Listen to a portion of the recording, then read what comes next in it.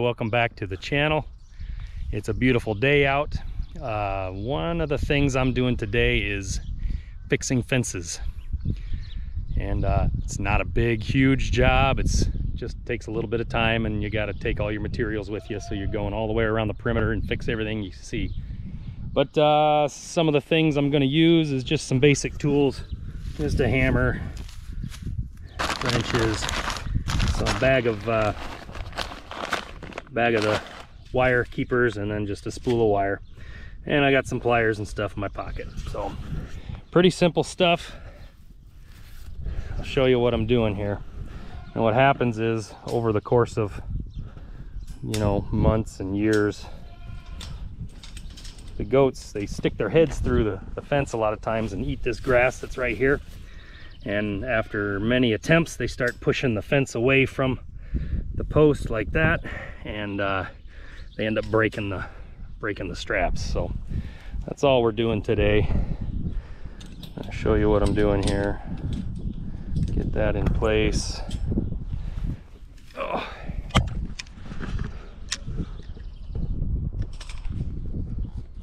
kind of hard to do this while holding the camera. My help disappeared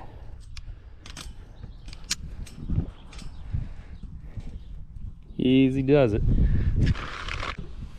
Maybe uh, put another one down here. Maybe.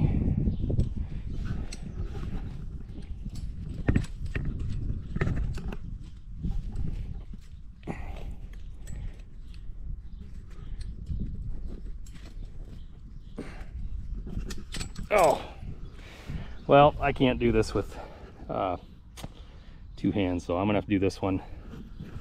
You're not gonna be able to see this one unless uh, well, maybe we can put the camera up on the up on the stand maybe. That'll see what we're doing here huh? We can get the uh, cats to not knock it over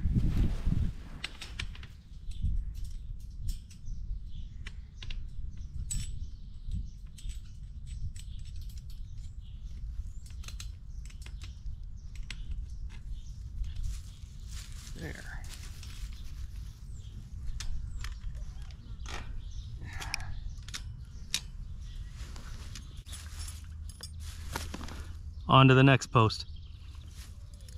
So one thing I'd like to show you, actually two things. If you're ever doing this, try to get the T-post not straddling one of these vertical wires. See that? Because what happens is when you go to try to put put the clip on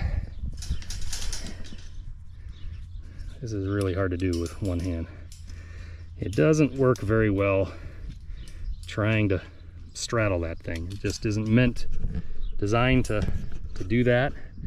And it's kind of a kind of a pain in the butt so uh, so yeah try to uh, try to put it where that's not going to be a problem but it's too late for this one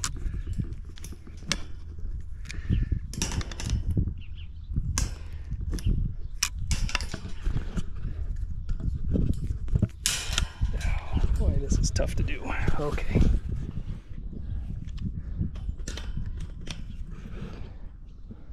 another thing I try to do when you turn this I try to turn it so that the the pokey part of the wire is facing down. If it's facing out, it's going to get you, and if it's facing in, it's going to get the animals. So facing down seems to be about the best the best way to do it. But anyway, I got to try to put another one in on this one, and it's just a pain in the butt to try to get around these. When you've got this vertical wire right next to it. Works a lot better when it's right in the middle It's kind of what it's designed for. So just a little trip tip from your catastrophic farmer on that. So here's another problem that I've got. This one, it's not straddling that wire, that top wire, that vertical wire, but it's not far away enough from it. So that becomes a bit of a problem. Let's see if I can do that. Yeah, that one worked out okay. It ended up twisting down inside. Sometimes you don't get that lucky.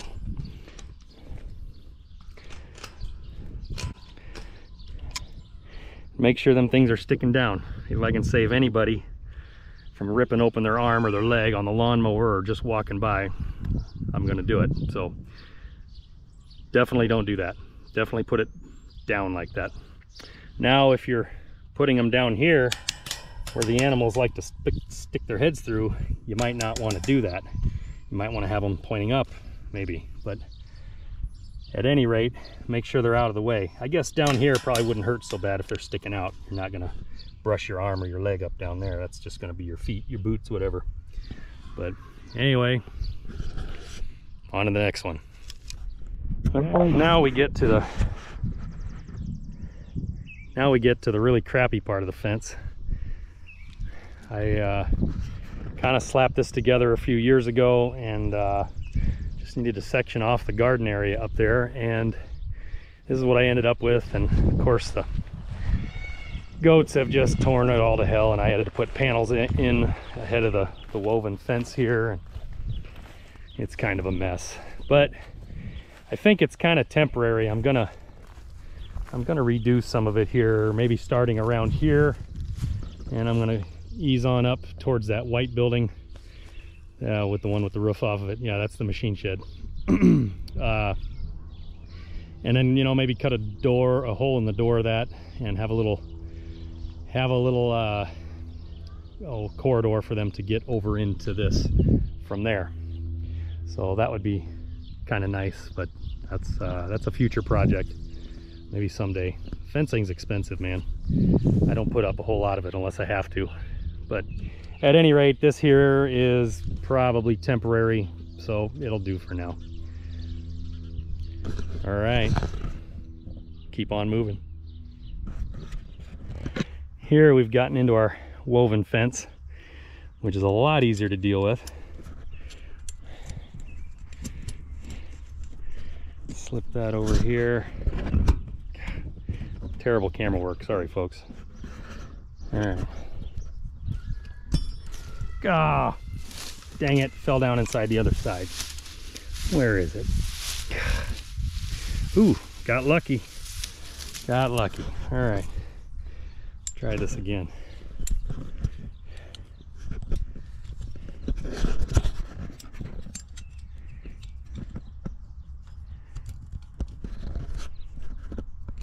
It looks really easy, but it ain't.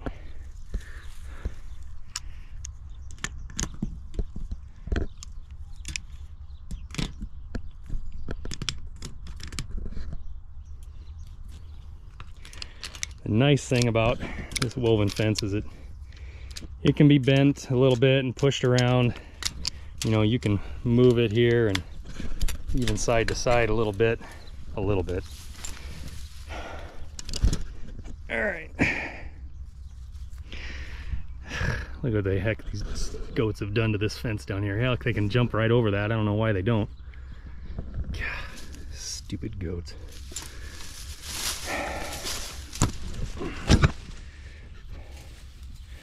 Yeah, life would be easier if I was just inside watching the ball game, wouldn't it? Wouldn't that be nice?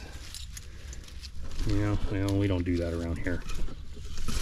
Oh, this is probably a two-hander.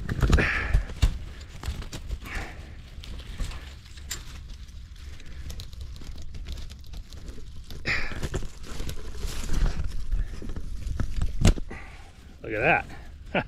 Stay by itself, maybe.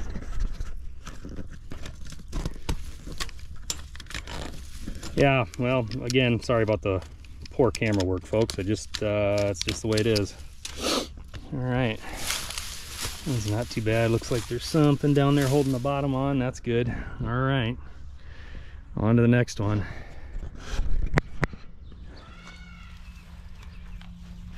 Well i thought i'd show you something kind of cool here.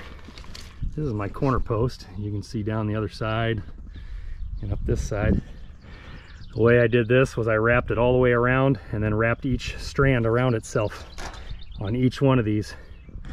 And then again, on that side, I don't know if you can see it or not, going that way. So this post is wrapped up tight. There's no way that can slip off because when you're stretching that fence out, you want that thing stable. So I had to re-pour the, pot, uh, the base because the earth pushed it out one winter. I put it in in the fall and the ground was real wet that year. And uh, then by spring it had pushed itself out and I don't know, the freezing and thawing and whatnot. This is part of the old part that I poured.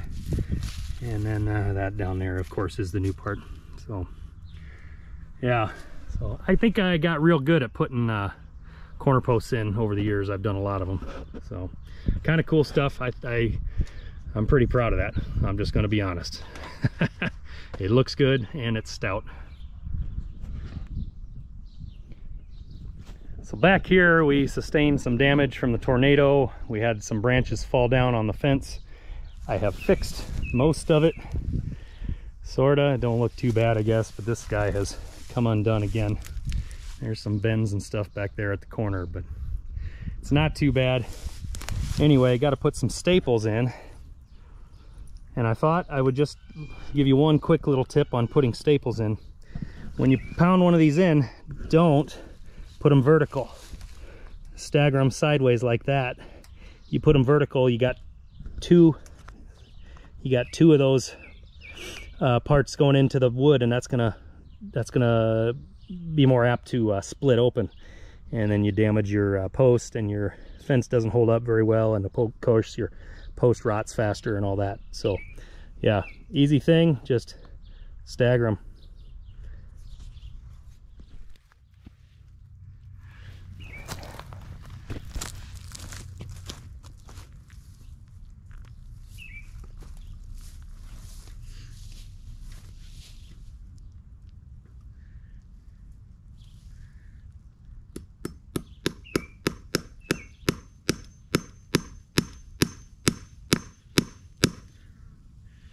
Thought I was gonna pound my uh, hand, huh? My finger, my thumb. I know you guys better than that.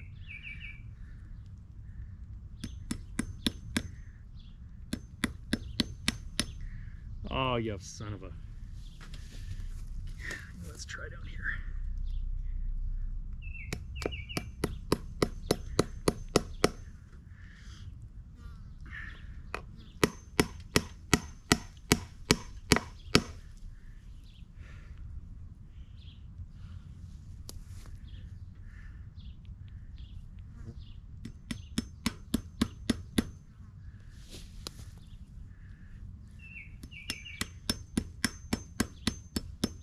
Oh, come on. Post is bouncing.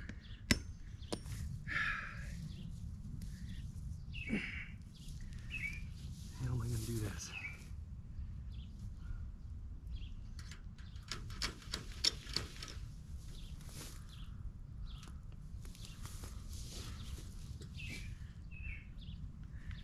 So yeah, pound into it and the post just bounces like that. Oh darn it.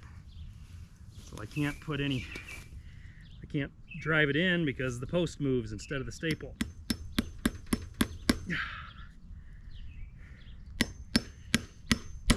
Hold it back behind me, behind it maybe. There we go.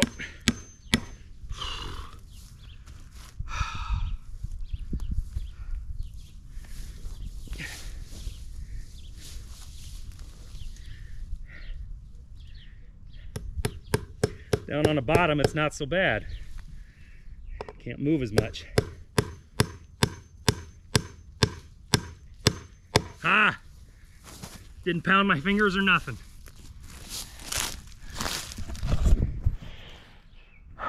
Except now I'm out of staples.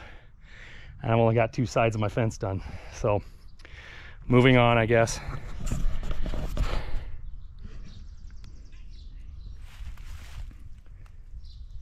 Well, here's some more fence I got. As you can see, there's a tree that fell down on the fence and I got that to repair. And this is, uh, yeah, I had a fence here before and I kind of redid it. So that was the old corner and, you know, it just, it's kind of a cluster, but hey, you know, it holds, uh, it holds goats in. So that's all that matters. so fencing is sort of an ongoing project. It's never really done.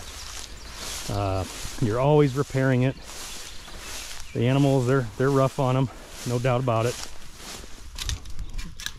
Fix that. And, oh man, what the heck is this?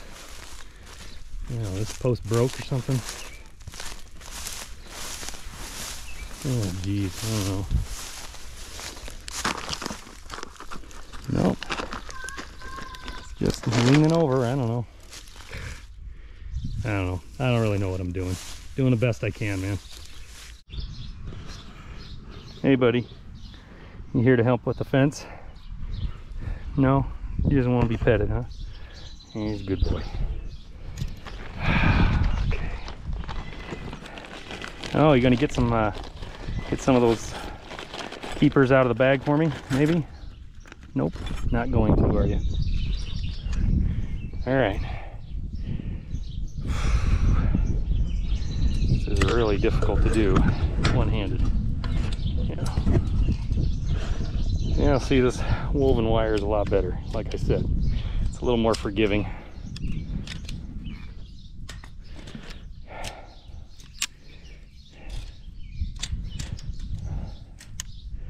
Cool.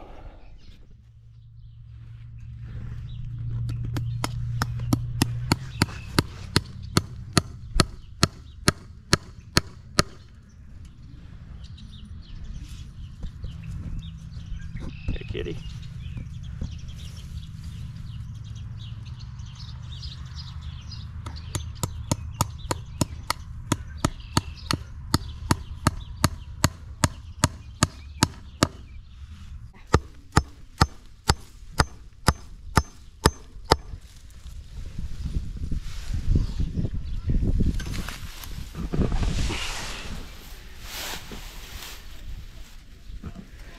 Now what we're doing here is fixing some of these old posts. This is some of my first fence that I put up, oh, five or six years ago.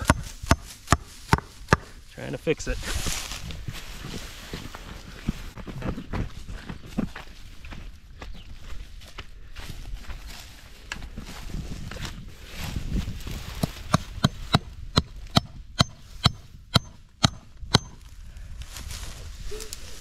So yeah, we got to do this because uh, you know the, the goats they rub against this fence must feel good on their skin or whatever, and you know over the course of years they pop these staples out. It's just the way it is. So probably should do this about once a once a year or so, but it's been a while since I've done this. So we're working on it. I don't really know what I'm doing, but here we go.